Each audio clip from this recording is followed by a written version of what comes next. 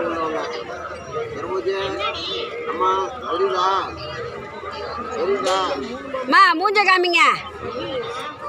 தம்பி. தர்மபுஜி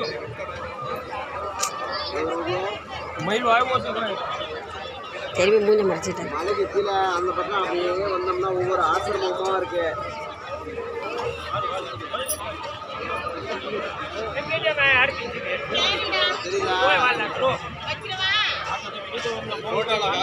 தெரியும்